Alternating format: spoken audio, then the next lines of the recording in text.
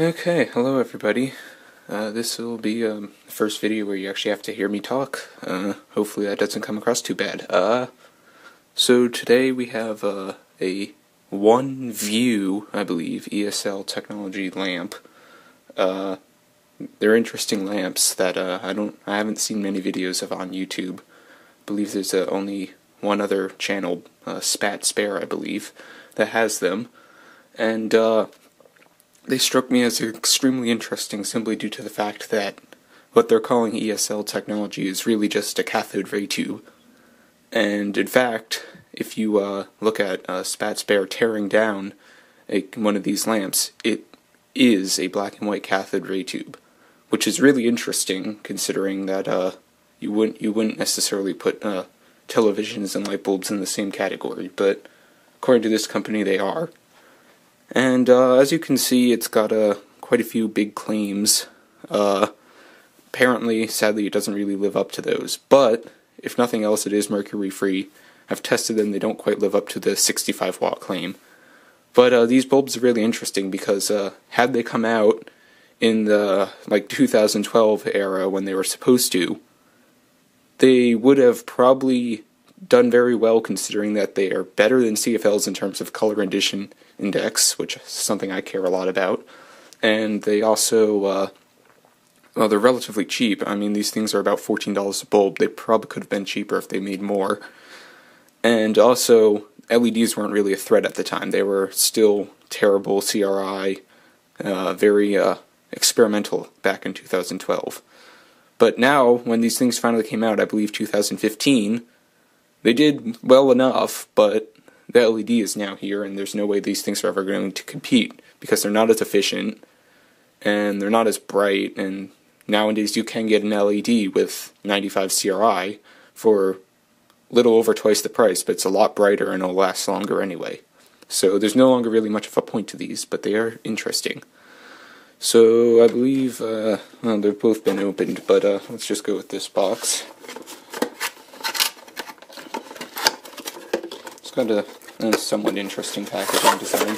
Ask me, it doesn't really leave much protection for the bulb, but what do I know about packaging engineering? So this is the bulb. As we can see, it's, uh, I mean, it looks like a cathode ray tube if, uh, if you've seen one inside of a television. It, it's got significant weight to it. I'd argue it's eh, getting close to around a pound.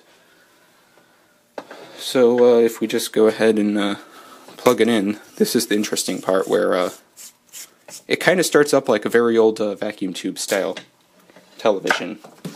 Uh, you'll find that uh, maybe I'll have to slow down the footage for it, but it kind of uh, starts in the middle with a spot and then very quickly flares out.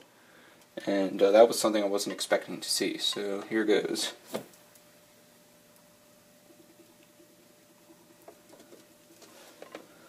So once it gets going, as you can see there is a bit of a delay before it completely starts out. It is very nice white light. The issue is, is uh, I think we I think we all know that this is not a 65 watts equivalent.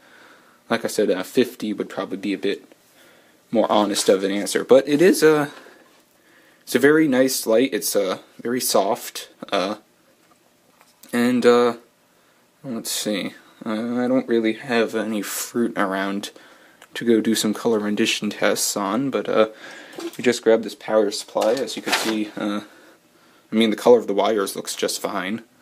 Uh, they're, they're, they're nice bulbs. Uh, the issue is also is well, there's static on it because it's it's a CFL, which you know, I guess uh, that's to be expected. But these things get very hot over time, and uh, give it a few hours, and uh, this will be like you can't touch it. And if you ask me, that's a bit of a problem because it sounds like the main mode of failure of these things is the switching transistors up in the top for the drivers of the horizontal beam are failing, and uh, as a result, the the whole the whole lamp is worthless because it's either only lighting a line or it's like a little spot, and uh, that's that's no good. So it almost sounds like you'd have to put these in a uh, in a place where you could have a forced air cooling on them, but you ask me, that kind of takes away the point of uh, having a light. Like if you're not going to have a fan for your light in your kitchen or something where you might put such a spotlight of a sort. So, uh, yeah, I'm, I'm, not too sure. Uh, perhaps they should have made this like aluminum with heat sinks. I don't know. Heat sink fins, it's, it's hard to say. But sure is an interesting bulb. Uh, when it turns off, it just kind of fades out. There's some capacitors in these things. You have to be careful. Uh, you can get nailed by them if you're uh, not careful. Sometimes even just touching the base afterwards can give you a nasty jolt. So uh, I'm not going to go touch that for a bit. I'd rather not uh, get shocked. But uh, thank you very much for watching. Uh, those of you who are saying this is clearly a copy of Parrot, well, look at it as more of a tribute. And if you like that, go subscribe to his channel because he's definitely the inspiration for me to do this in the first place. So, thank you very much for watching, and I guess see you next video. And also, I still have the video for the 18 watt Sox lamp coming out. The problem is, is that uh, I'm I'm having trouble trying to find music to put to it, uh, and I'm rather not get hit with all the copyright strikes in the world. So hopefully I'll have it up soon. That and uh, I managed to uh, via an outlet splitter run a, a 90 watt, 55 watt, and 18 watt Sox lamp up at the same time for uh, even more Sox light, which hopefully that'll come out interesting too. But until next time, I guess.